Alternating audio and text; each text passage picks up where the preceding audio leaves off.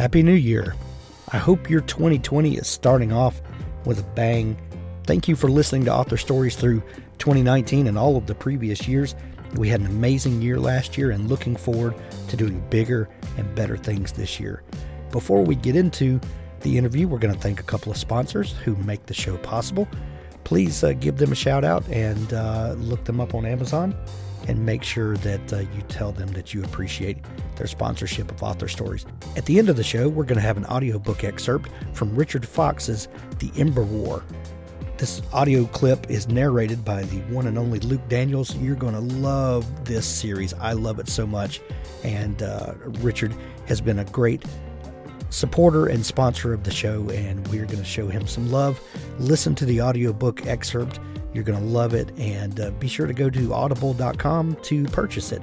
If you're not an Audible subscriber, you can get a free book just by signing up for a free trial at audibletrial.com slash hank you get a 30-day free trial you get the free book if you decide to cancel your audible subscription you get to keep the free book and it doesn't cost you a single penny audibletrial.com slash hank and uh, listen after the show for the clip from richard fox we're so happy to have our friend Crystal Pikko Watanabe as a sponsor of the show. Crystal is one of the best editors in the business, and she has just debuted a new service that I think you'll absolutely love and will help you to up your writing game. Pikko's School of Wordcraft and Editing has just debuted, and the first course is called Properly Punctuating Dialogue. It's a mini course and can be completed in just about 20 minutes. It covers the basics of dialogue punctuation, Authors can get access to the new school and the course for free by signing up for Crystal's author newsletter, Notes from Pikko. Go to pikkoshouse.com slash newsletters. That's P-I-K-K-O-S-H-O-U-S-E dot com slash newsletters. More in-depth courses will be added in 2020. Make sure you don't miss a thing. pikkoshouse.com slash newsletters. Writers, I have an amazing tool to tell you about a revolutionary writing tool for planning stories, Campfire Pro is what novelists need to go from the seed of an idea to a detailed plan that's ready to be executed. Complete your character design, create a timeline, and track your world building all in one place with our downloadable desktop app for Mac and PC. Without the annoying subscription model so many apps are using today. Visit campfiretechnology.com for special holiday pricing on Campfire Pro today.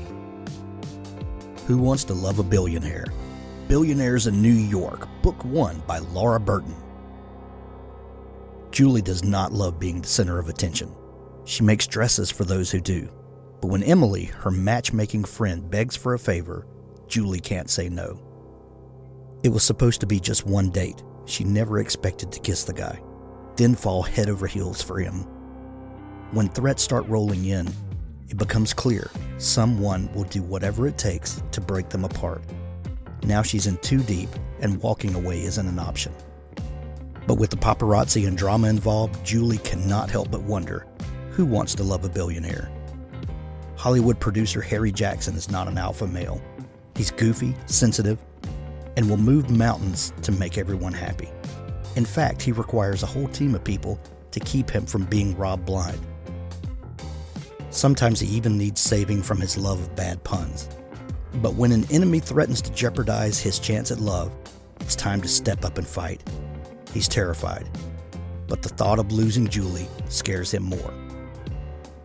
Pick up Who Wants to Love a Billionaire? The Billionaires in New York, Book 1 by Laura Burton. Well, thanks for joining me again for the Author Stories Podcast, where I bring you the story behind the stories and the storytellers. Uh, today, I'm super excited to have Lisa Gardner back on the show with me. Uh, if you go back to about episode 573, I think it was last year, uh, February, uh, Lisa joined me then, and uh, we had a fantastic time talking. She has a brand new book out that when you're hearing this is available everywhere, and it's called When You See Me. And as always, uh, what a fantastic read. Welcome back to the show, Lisa. Oh, thank you so much, Hank. It's always a pleasure to speak with you. And and you as well, um, Lisa. You told us this great story last year about when you were about six years old. you decided that you were going to write a book. And you, you told us about, you know, cutting the paper into these small sheets and stapling it together and, you know, your uh, Wizard of Oz influences. Um, do you, uh, when you sit down to write a new book, do you ever, you know, get that kind of giddy feeling of connecting with that original love when you were a kid? You know, writing a book is always, I mean, the beginning of a book is always my favorite phase because the idea is so fresh and new. Right. And there is that kind of giddy feeling of, oh, I mean, I wonder where this will take me. In the case of When You See Me, because books come to me very incompletely, that's not really English, but I just had this vision of a of a girl um, who, because of an injury to her brain, can't read, can't write, can't speak. It's called speech aphasia, and she desperately needs help. But if you can't communicate at all, how do you go about doing that?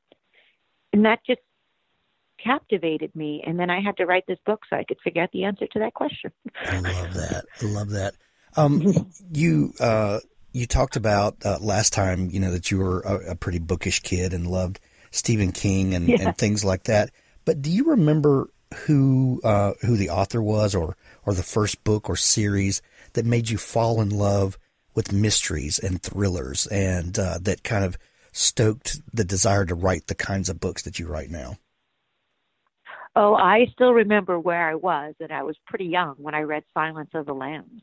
Oh. And that just blew my mind. Um, the escape sequence, Hannibal Lecter, that you could do such things, think of such things. It was so incredibly clever.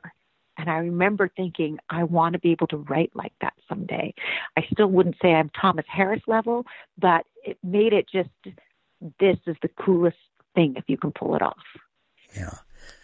There are lots of genres that we can trace back to, you know, hundreds, uh, if not thousands of years to these types of stories. Do you feel like that the psychological suspense uh, genre is is a fairly new creation?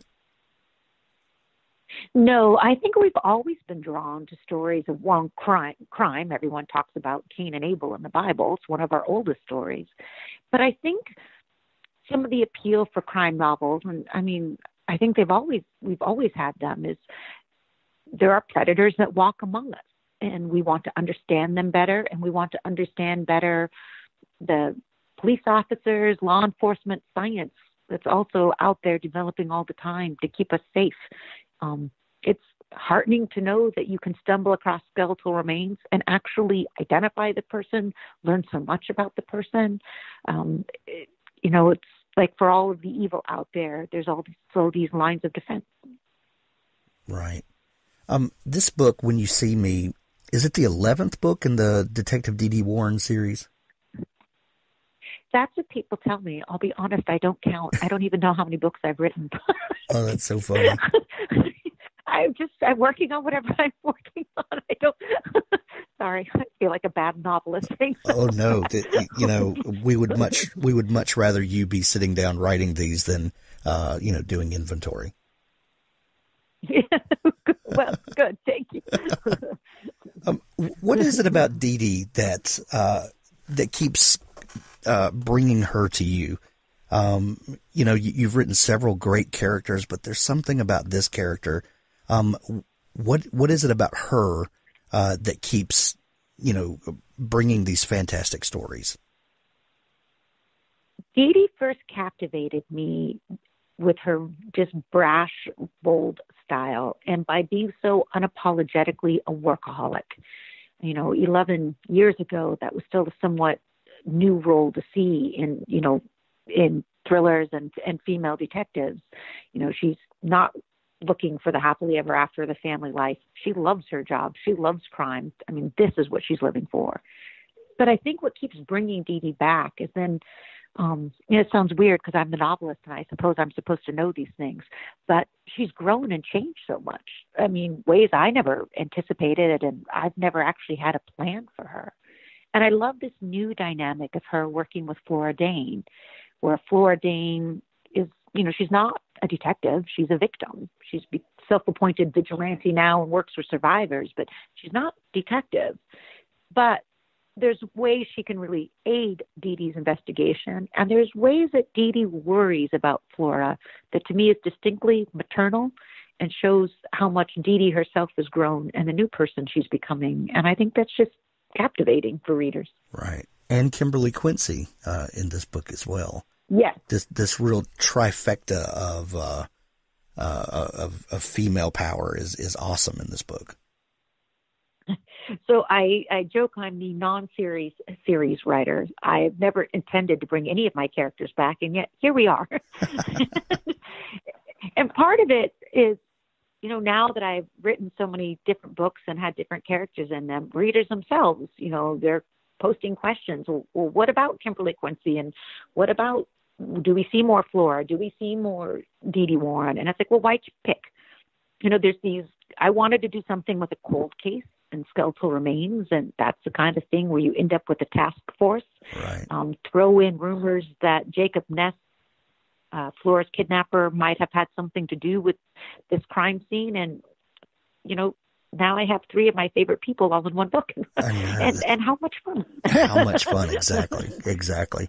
Um, you, you, mentioned at the very beginning that that you had this um, this idea, this sort of scenario that this person um, needed to communicate and couldn't. And um, uh, did, did did you say it was speech aphasia? Yeah, you see it often in stroke victims or people who've had trauma to the brain. It's damage to just a particular area of the brain that not only impacts your ability to communicate, but your ability to process communication. So generally, you can hear someone speak correctly, but you can't make out written words. Um, you cannot talk yourself. Um, and in most cases, that's not going to change. That level of brain damage is what it is. It's learning new ways. And that's one of the challenges I had with When You See Me was working with a speech pathologist and then working with forensic experts on interviewing victims and children. I mean, if you have someone you can't ask an open-ended question to, and you remember they're always talking about legal justice not to lead the witness, so to speak. Uh, how do you do that? And it was fascinating to talk to real world experts because they're like, this is our worst case scenario, but they're seeing it more and more with crimes involving autistic children, other people with communication impairment. It has come up, and it is, you know, a huge challenge for law enforcement. What brought this condition uh, to your uh, to your attention? That, that's uh, or were you just thinking about um, you know disability someone was uh, was dealing with, and then you realized this was a whole um, uh, kind of diagnosis, or was this something that you had been researching for a while?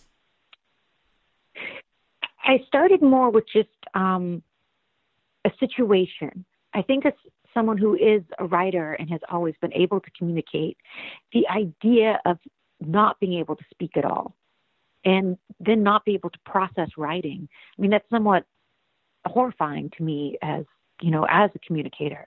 So then i went to a speech pathologist and said is there a realistic scenario where you would see this? And it turned out well yes actually i was by chance describing almost perfectly a real world uh, you know case that's not even that unusual. I mean it pops up more than you would think. Um, and was kind of off and running from there. But yeah it was starting with the situation and then backtracking to come up with the parameters to make it work I love how the the kernel of an idea, you know, someone who can't communicate, then grows and grows and grows. Um, yeah, that that part of you know the discovery of writing and figuring out what the story is, even before you start writing. Um, do, do, you have, uh, you know, over the you know hundreds of books that you've written, and I'm I'm winking as I say that. Um, the uh, over you know working out your process, have you come up with a, a good plan of the the preparation for writing, the pre-writing when you're starting to kind of gather the steam and take notes and figure out what what the problem is that your characters are going to solve? Um, yeah. So again, I, I'm glad that everyone thinks I have a plan here.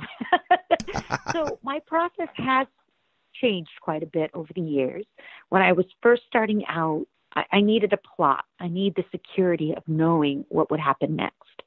But I felt over time, if I always knew what was happening next, so would the reader.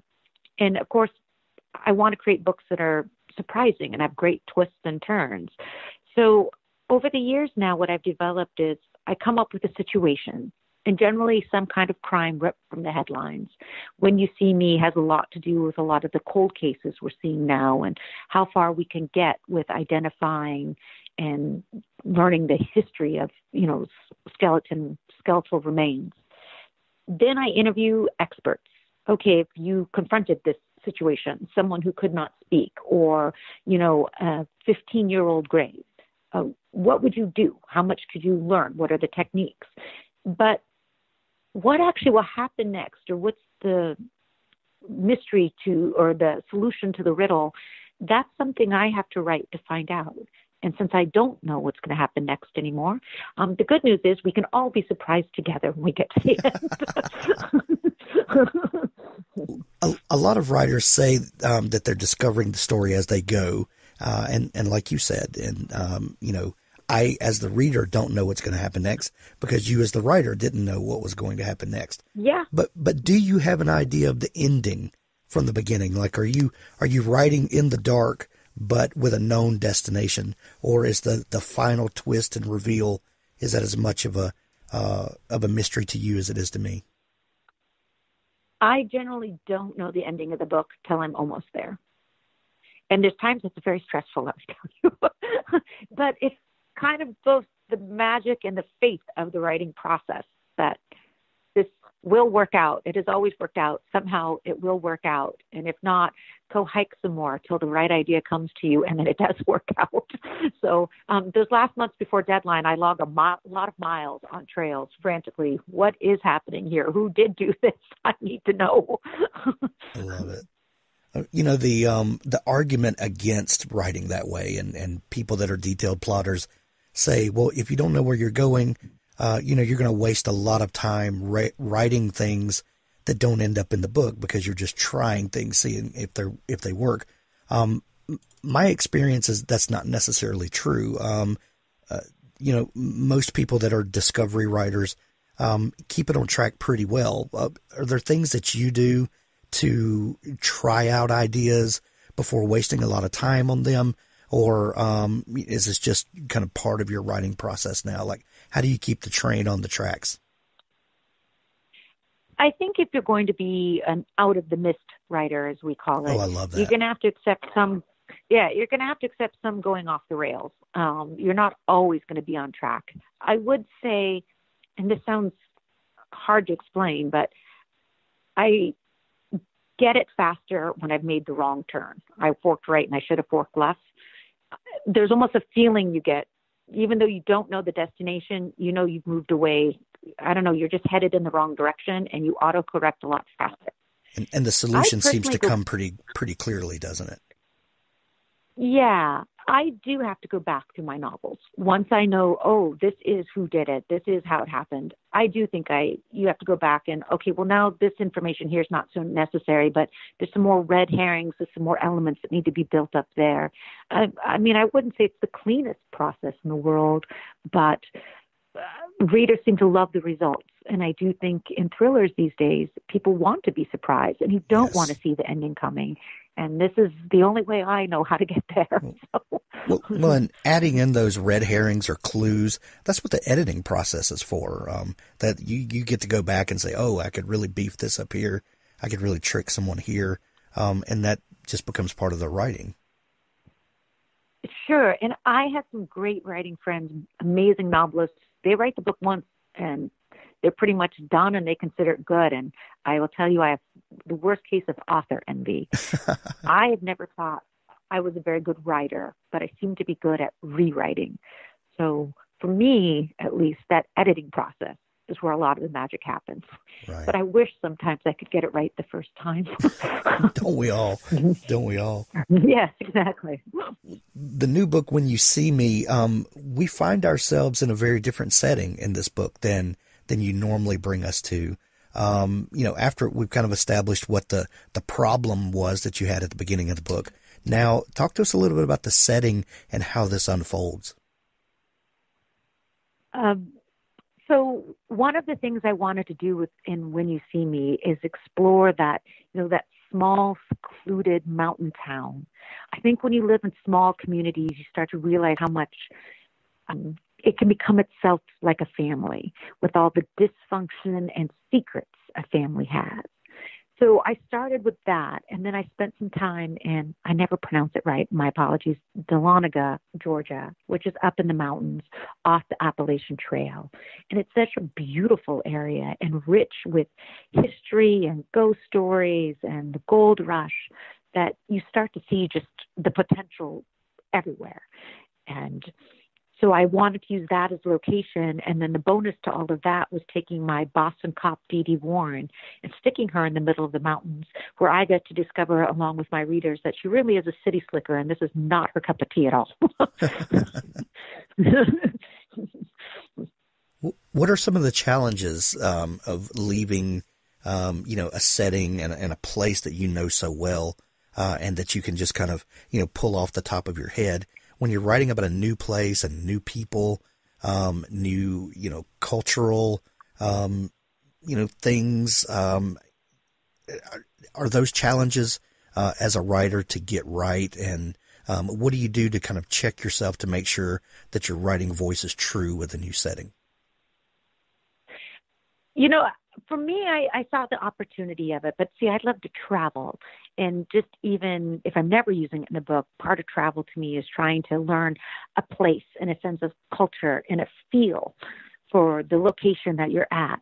So the opportunity to set a book outside Boston and in a totally different environment was actually very appealing to me. Not to mention, I live in a small town in New Hampshire and I love to hike also um, a destination where I could do some hiking to learn more about it was also greatly appealing to me. I, I think you always worry as a writer are, are you being authentic or are you creating a caricature? And I think the truth is there's always going to be some elements of both. But you want to get enough details right that it the location just triggers that sense of recognition in reader's mind. I know what we're talking about. I get this. Right. Um, we talked about bringing these three dynamic characters together uh, in this book. Do you, um, when you're kind of balancing who gets what uh, part of the story, uh, is that a challenge when you bring these uh, these three headstrong characters together?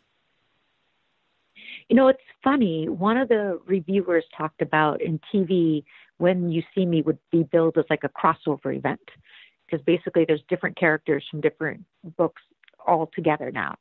And I actually was somewhat aware of that writing it. It reminded me of like the ensemble crime drama from TV, where, okay, it was more important to make sure everyone had a defined role and that you could recognize their different styles.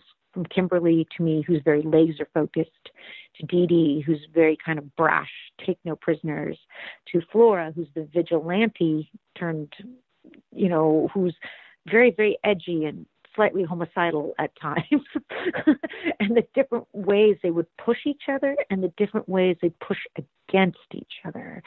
And I end up in the end finding those dynamics just to be so much fun to write. Right. Oh, tell us about the character of Keith Edgar. Um, how does he come in and what does he bring to the table? So Keith was a lot of fun for me and a total surprise. I was drawn to again a real world thing we're seeing with these Sherlock clubs. Um, you know, we're definitely getting to an era of fascination with true crime, cold cases, and there are a lot of people who are armchair detectives and even retired um, professionals, you know, ex detectives that form these Sherlock societies to investigate some of these old crimes. So Keith originally was kind of just a fun character to explore, an everyday guy, computer analyst, obsessed with crime. And then he meets Flora and and then it turns out Keith looks like Ted Bundy. And honestly, I never saw any of it coming, but I really like him. it's so much fun.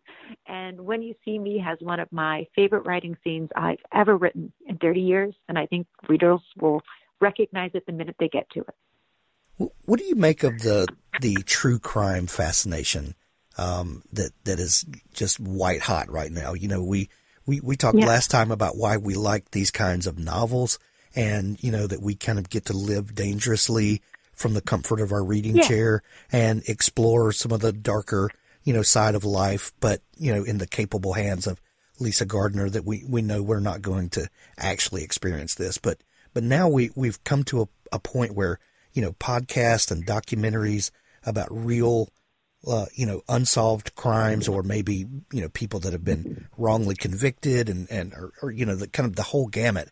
But we're obsessed with, with the real world now. Um, what do you kind of, what do you make of, Yeah. of, of where we're going there? Well, given I now spend all my time listening to true crime podcasts, I Right. think I'm a good person for this question. I think there's a couple of things. I think one, appeal of suspense, of true crime, fiction crime. We love puzzles. Human nature is drawn to puzzles and how to solve them. So there's forever the cerebral appeal. And I think the really great true crime podcasts, it's one of those things where the truth is stranger than fiction some of these twists and turns are just shocking and to know that this is what really happened this isn't a work of imagination makes it that much more compelling and i think you know we're all surrounded by crime now i mean it's the major headlines it feels like every day so to have some reassurance of you know a lot of these podcasts are cold cases you know that you know justice will always prevail whether it's two weeks, two years, 20 years later, I think there's a little bit of comfort in that as well. Sure. Um, as a as a crime novelist and a thriller writer, um, do you are, are you aware of kind of the the tides of reader taste changing, and is there ever you know stress on your part about uh, you know doing one better from the last book? I think in the 30 years I've been involved in suspense, we've seen a lot of transitions. And it's interesting to me because I think in some ways we're also about to transition back. When I first started, it was, you know, Thomas Harris, it was serial killers du jour. Um, and especially my first few books I wrote, I was sent them back and explicitly told to make them more graphically violent because that was a sense that, you know, readers were reading for shock now, really, in the past 10 years, I would argue we're in the day and age of domestic suspense. It's not the stranger anyone's worried about, it's the person sleeping beside them, which I'm not sure what that says about us society. but, Oh, no. but it is more statistically probable. You know? and I think we've become more, again, the psychology of crime and the criminology. And that's actually, for me, what I am more fascinated by. What is the nature of evil? Um, how well do you know the people you love? Those much more, you know, insidious questions are what drive me as a novelist. And and what's odd is we never seem to truly answer those questions because there's always No, another way to tell that story and you know another angle to look at it from.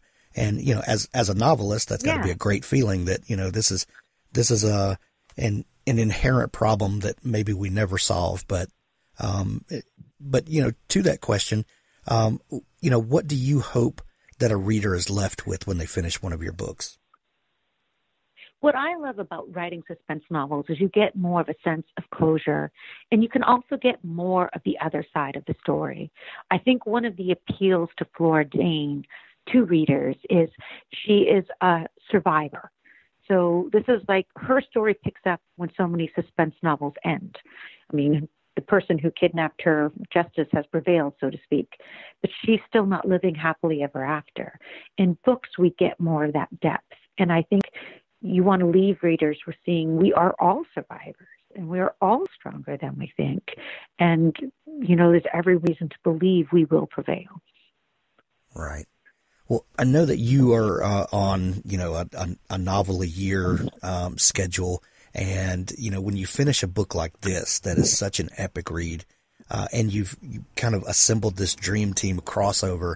Um, how do you follow up uh, for next year's book with that? What are you working on now? You know, there continues to be stuff in the real world that I think is perfect fodder for crime novels. So, one of the new developments, and some of this is covered in these podcasts we were just talking about, is we're getting more and more amateur people making genuine contributions to cold cases and real world crimes. Um, everything from genealogists um, to just again an everyday person drawn to a case, something and they read on the news, and taking up the reins. And so that has drawn me to um, an everyday woman, and there's entire messaging boards for this now, who she goes from town to town trying to solve cold cases of missing minorities. Interesting, interesting. I can't wait to see um, where you're going to go with that. Who who's your your primary protagonist? Well, so it's an all new person. Her name is Frankie. Oh, um, why she does what she does, um, she and I don't know yet. We're still working on that. but it's based on, again, real world stories. This has kind of become her obsession. And she talks about, you know, the cases that the police can no longer solve, that the media never covered, and the community never seemed to care enough about. That's when she gets involved. And I've read some really amazing cases, everything from pilots who donate their time for searches to search dog handlers who are retired but still show up, you know, to work, not just immediately missing people, but, you know, remains still haven't been found. We're still trying to find them two years later, things like that. And it was really interesting, but I think we're also back to heartening, um, you know, real world people donating their time, their energy, and their passion to make a difference. I love it. I love it. I can't wait to see what you do with that. Uh, Lisa, um, thank you so much for taking time to come back on the show today. When You See Me is available everywhere now in hardback, audiobook, Kindle edition, any way that you uh, read books. Lisa, if people want to connect with you and dig into your massive back catalog and all the fun stuff that you do, where can they connect with you online?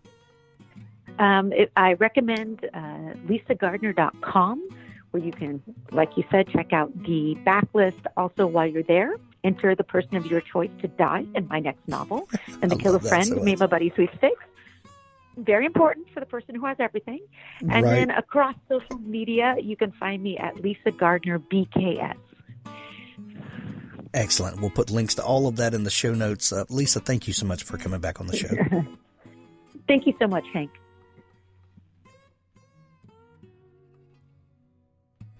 Stay tuned now for an audiobook excerpt from Richard Fox's The Ember War. the near future. Humanity's only hope of survival entered the solar system at nearly the speed of light. The probe slowed as the sun's heliosphere disrupted the graviton wave it rode in on from the abyss of deep space. Awakened by the sudden deceleration, the probe absorbed the electromagnetic spectrum utilized by its target species and assessed the technological sophistication of the sole sentient species on Earth. The probe adjusted its course to take it into the system's primary. If the humans couldn't survive, with its help, what was to come, then the probe would annihilate itself. There would be no trace of it for the enemy, and no chance of humanity's existence beyond the time it had until the enemy arrived. The probe analyzed filed patents, military expenditures, birth rates, mathematical advancement, and space exploration. The first assessment fell within the margin of error of survival and extinction for humanity. The probe's programming allowed for limited autonomous decision making, choice being a rare luxury for the probe's class of artificial intelligence. The probe found itself in a position to choose between ending its mission in the sun's fire and a mathematically improbable defense of humanity, and the potential compromise of its much larger mission. Given the rare opportunity to make its own decision, the probe opted to dither. In the week it took to pass into Jupiter's orbit, the probe took in more data.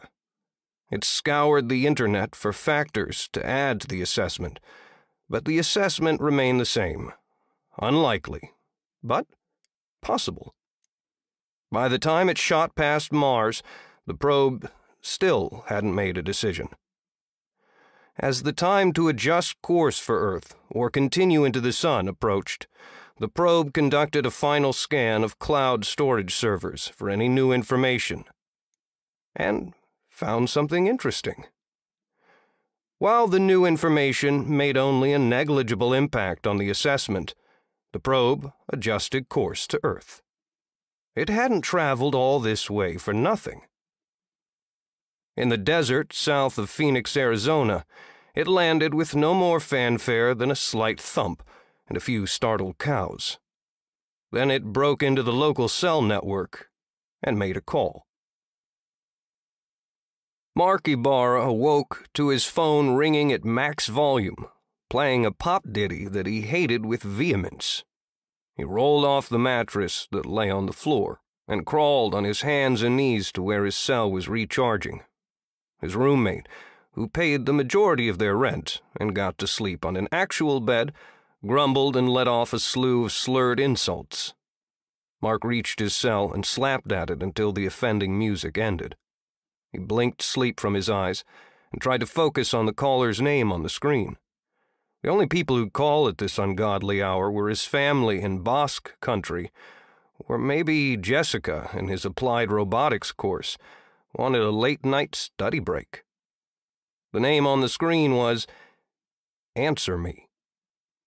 He closed an eye and reread the name. It was way too early, or too late, depending on one's point of view, for this nonsense. He turned the ringer off and went back to bed. Sleep was about to claim him when the phone rang again, just as loudly as last time, but now with a disco anthem. Seriously? His roommate slurred. Mark declined the call and powered the phone off. He flopped back on his bed and curled into his blanket. To hell with my first class, he thought. Arizona State University had a lax attendance policy one which he'd abused for nights like this. The cell erupted with big band music. Mark took his head out from beneath the covers and looked at his phone like it was a thing possessed. The phone vibrated so hard that it practically danced a jig on the floor, and the screen flashed Answer Me over and over again as music blared.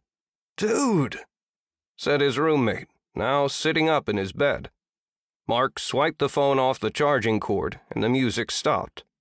The caller's name undulated with a rainbow of colors, and an arrow appeared on the screen, pointing to the button he had to press to answer the call.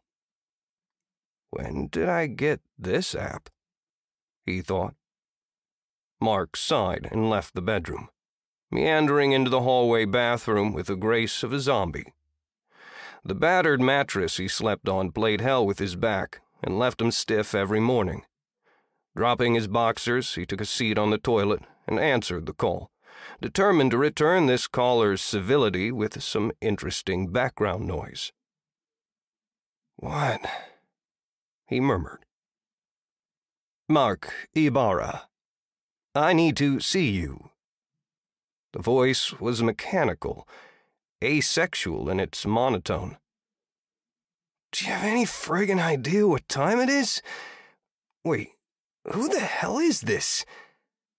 You must come to me immediately. We must discuss the mathematical proof you have stored in document title This Can't Be Right. Doc. Mark shot to his feet.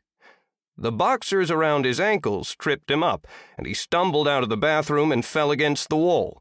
His elbow punched a hole in the drywall, and the cell clattered to the floor. He scooped the phone back up and struggled to breathe as a sudden asthma attack came over him. How? How?